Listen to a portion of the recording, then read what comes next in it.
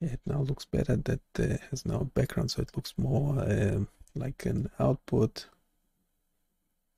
Yeah we don't like ads but uh, hopefully they're not too intrusive. They're now delayed like by 10 seconds or so. I probably could delay them further. I was just try uh, playing around with the delay function which is done on my server server end. Yeah this need to be made clear that that filter order is only affecting the frequency domain should do it now? There's a description. So the filter order selector choose from 1 to 4 adjust the sharpness of the band filter. The default setting is at 2 and why do i have a feel, feeling that's now that looks correct. This thing would not actually show you the value like um, the window size there.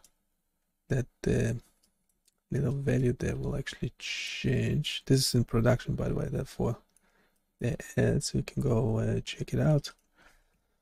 It's in this url pop it in the chat for you to play with.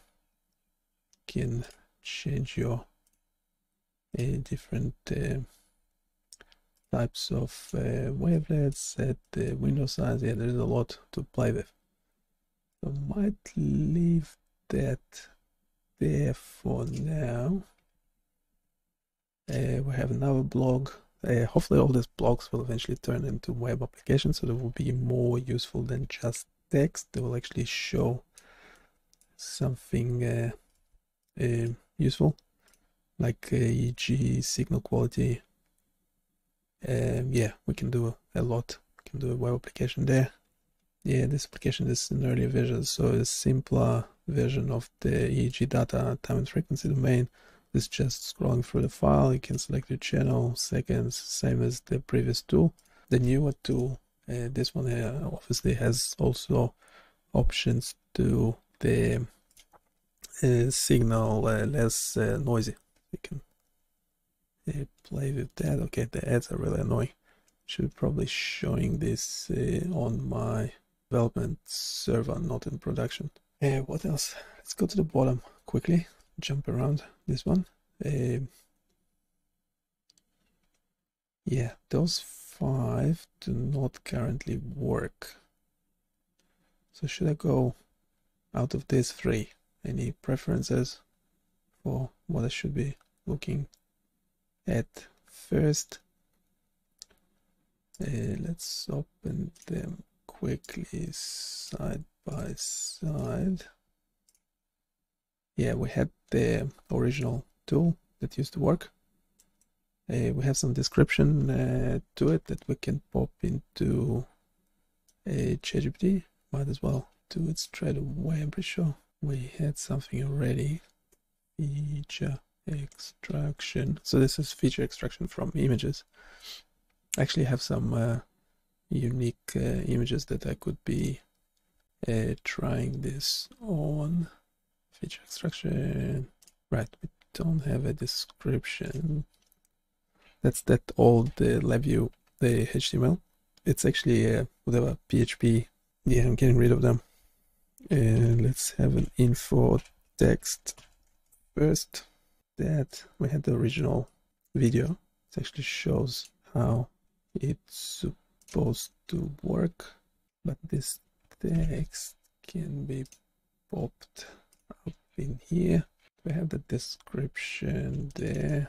Fast feature point detector detects corners in an image using the features from accelerated segment test FAST algorithm. FAST identifies all interesting features in an image and selects features so that they're consistently detected. Harris corner detector uses the Harris corner detector algorithm to detect corners. The Harris corner detector is a mathematical operator that finds corners in an image. Shi-Tomasi corner detector uses the Shi-Tomasi corner detector algorithm to detect corners. Uh, okay, so we, that's description enough.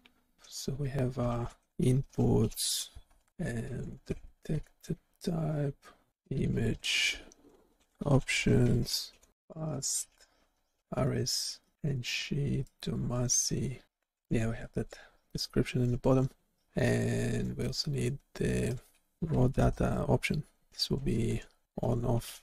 And the output, or should we just display the raw, the original image? Now let's just display the original image. So I have our outputs, original uh, processed. Oh, come on. GitHub. Yes. And processed image. Right, that's some description. So the, now the question is, uh, should this be a Flask application or not? Or can it uh, run on the client side? Start a new chat, go into GPT-4 straight away. Okay, let's see what it says. Okay, many considerations, server size, processing, privacy, reusability and integration, development consideration. Yeah, on the client side, there might be limited capabilities. Let's go with Flask. Yeah, and we already have like what the 8, 9, 10 uh, of them already, so it's just another one should be easier. I'm also checking what the images we could use as uh, examples. Uh, basic uh, structure. So we have a web interface backend. The backend does uh, get post requests uh, using OpenCV to implement the feature detection. That's great. Saving the images temporarily. That's okay. Maybe change it later. Displaying the output. Uh, handling raw data. Uh, what? That actually is interesting. Uh, normally, when you're talking about biomedical images, you're thinking, you know, scans. But yes, actually, time series data can also be an image. So this actually could be quite an interesting thing to do because we could just go into one of the other uh, tools and uh, uh, generate quite a few images and see how the image detector deals with them. Or should we go imaging examples? Because the algorithm will be steps to implement feature detection install flask Open OpenCV python headless. I have flask install yeah I, ajax did use ajax in one of the application but not in a more recent one it shouldn't matter too much so EEG versus, uh, versus say a micro CT scans. Just see what it says. Yeah, obviously you, you will process the image uh, quite uh, differently, and you'll probably look at the um, different features. Perhaps of use microCT data characteristics, volumetric image processing, uh, complexity of data. Yes, the data is more complex. I mean, um, um, I don't think I have 3D images anyway. That would be probably could try and get some 3D micro CT, but at first stage, it probably just gonna be 2D images.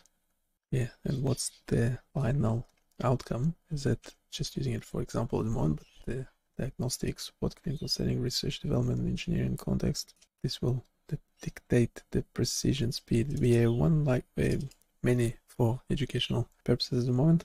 Uh, so speed is important. Uh, optimize for speed. Now, yeah, where, where do we get the images from is important.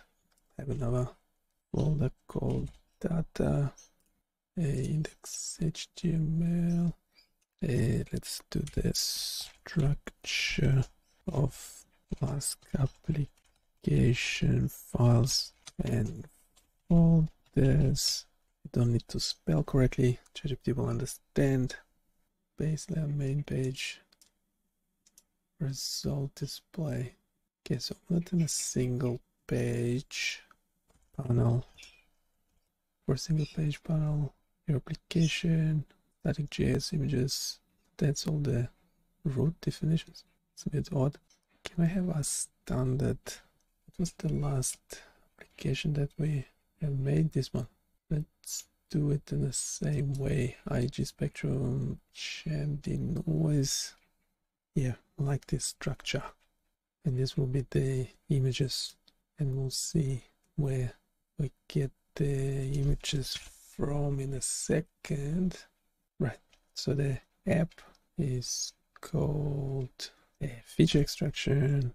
It will have an app modify a requirements readme static style. Uh, this one, what's the standard name for main JavaScript templates index HTML? Now data, this will be images. The JavaScript is not for EEG. And this will be image. And let's do this. Okay, I don't know why I just rearranged the thing, explaining each file. I didn't ask you to. That's okay. Uh, can we stop generating that? Uh, have those. Those go next. Uh, generate all necessary code for the updated HTML. Well, just HTML. I mean, this is the first time I'm generating HTML, so yeah, I'm just generating the templates. A JavaScript file. It's while it's generating. Let's do the folders quickly. Or should we just copy them? Um, we have the info file. Let's copy those quickly. My app requirements. We will need to regenerate those. It's JavaScript. Yeah, we're using the DOM content loaded. That looks good. By file and straight away correct this into the new application name. Generated some Python code. Just the template.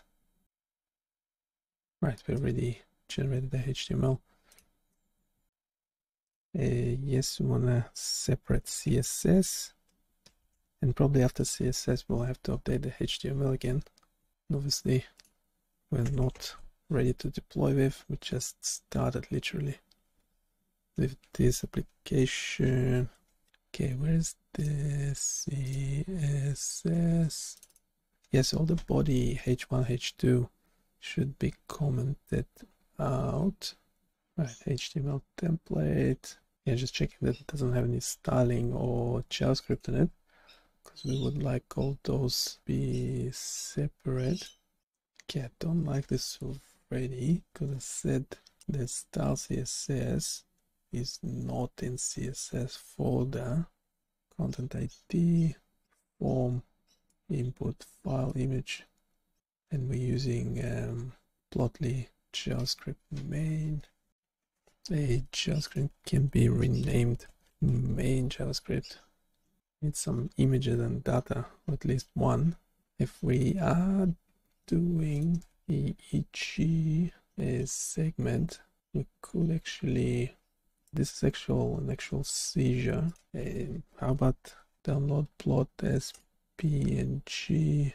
Uh, let's call it seizure one PNG. Pop it into data info. Okay, more prompts. Example image to use is in um, we haven't done python yet. So we're using flask secure file and what? Just go with it for now. Okay example the image is in this file. Okay in html where do we edit see what it looks like again yeah, choose file. Definitely. Uh, okay. All the uh, image files are in this folder. I choose first file by default. So this actually does not matter. Just pop another uh, image in there we actually had this images for the wavelet, the image compression. Uh, which one's good? Yeah, the first one. Compress wavelet. Right, so this should be in static images. First one, MRI brain. Uh, say O2. Yes, say this one. Static images. Okay, let's rename this into images and put it in the static folder. Name this one a or one seizure. Yeah so it's just on top of the file. A copy path. It's meant to be relative path. Static images seizure one or one seizure is static images folder choose for first file by default add a drop down menu to select the image file. Yes for that the um, vector type we want to do that. Yeah that's github copilot. And those are good. Why are we using web browsing? Should be just using the standard GPT-4 default filter out files that are not images if necessary. Yeah, we don't really have to do it. Well, not at this stage. To change our HTML render template. Yeah, we don't need that secure file uh, import because the images will be just on the server. Get rid of that image folder. That's right. Yeah, we don't want a dummy extraction function, we want a real extraction function.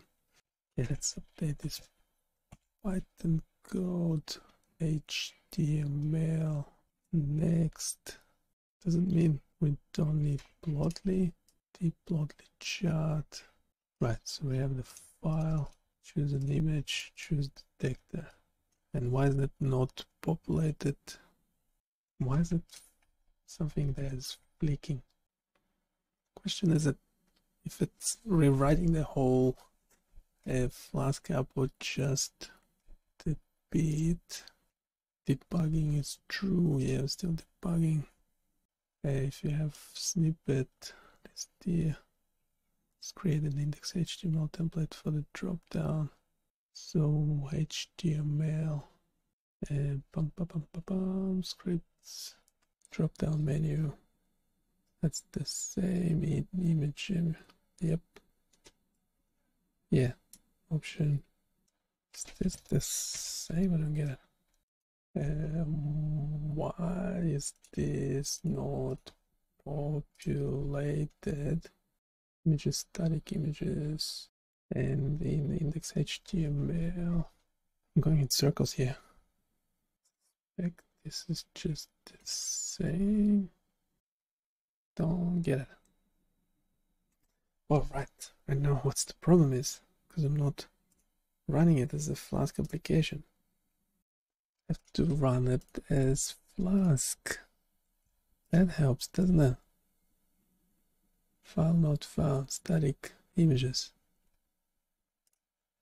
Static images. Static images.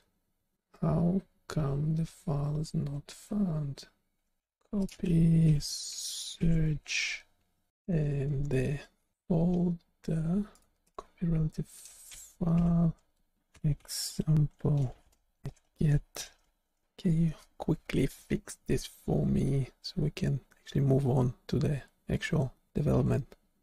Is the whole thing? Are you suggesting me to replace? Right. Okay, now it's working. Okay, we are in business. Sure images are displayed. Now I'm using Copilot all the time. It's just, I actually had to change its settings as well. Um, uh, Copilot no, no, I'm uh, yeah, I'm using it all the time. Uh, I didn't realize it had um, quite a few uh, settings that I. Uh, yeah, I think it was actually set up for developers where you doing everything myself. I'm not a developer, so now it actually should be better. I haven't checked it yet make sure images displayed in the HTML files. So I can I can try them both side by side. I would actually love to ditch uh. Well, because it's more expensive. I don't really need it. If I knew how to use GitHub Copilot properly. So for example, yeah, I'll try them both. So say obviously it's directing us to change HTML because we meant to have these two images, original and um, processed. So we have the drop down menu, drop down menu right here, a place original and process images side by side. Yeah, that was, uh, yeah, now it's thinking and it generated the whole code. Give me two options. Yeah, like the second one, accept for tab, save. Um, didn't I say side by side? Definitely not side by side. Um, original image, and well, okay, let's see. Script HTML, make sure the images are displayed in the HTML file. First image, uh, yeah, so this is a much better example. Can place it together. Right. So yeah, you can tell um, GPT-3 is actually having context for the whole thing. I'm surprised GitHub Copilot, assuming it has access to all my files and everything. It's in literally in the development suite, but when it's giving me advice, it's giving me generic stuff, whereas ChatGPT gave me the actual file with the right folder and it actually works. So yeah, the thing with 3.5 is uh, yeah, I think it's a problem that people use it and then they get disappointed from it. The main reason I'm able to use, uh, and I don't know why it's in web browsing, is the fact I can start fresh for now and do it quickly because I'm running out of time. But if I'm in default GPT-4, the main reason I'm able to use it is because it can store the whole context for all the files. So if I have all this one, two, three, four, five, six files, if I pop each uh, one um, of them, what well, info, I'll go info last. The order is important. Index HTML first. So if I start from scratch, the good thing about it, is it the right file? Yeah. Yeah, and I'm, and I'm just telling it to read the code and don't generate anything else. And that's because it then stores everything in in its memory somehow. Can use this this line seem to work uh, quite well. At the end. Uh, pop this again. So it's actually yeah it says uh, yeah great the course provided question uh, so it has it in memory. It read the flask application and that's great. Styles says i can sort it out later as well. Um, javascript is most important and we use the same uh, line. Confirm you read it and do not generate anything any code or anything else uh, copy all. Yeah so chat gpt-4 is able to to keep the context of of all the different files. So we're talking what are we talking 100 lines in html 30 lines in uh, flask so far 40 in javascript. Um, and now I can actually ask it questions. I'll go into my application. Um, yes, that HTML that uh, GitHub Copilot generated didn't actually work. Now I'm actually trying to find it and get rid of it. And this one here it gave me very generic stuff and uh, yeah i just don't know how to use it.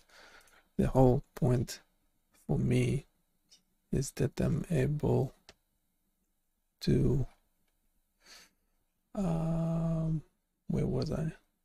Oh. Yeah read the javascript uh, it gave me some error or something. So generating another prompt you don't have to worry about spelling pop it in as is and it's giving me yeah it has the context so that's the stuff that I already have and then it's telling me what I need to change and it looks correct. I don't have the processed image yet. Hopefully we'll have it soon enough. Save. Yeah, I don't have the processed uh, image. That's a problem. And and it can do processing for me because it had the Python code as well. Okay, I'll continue this later. See you in a bit.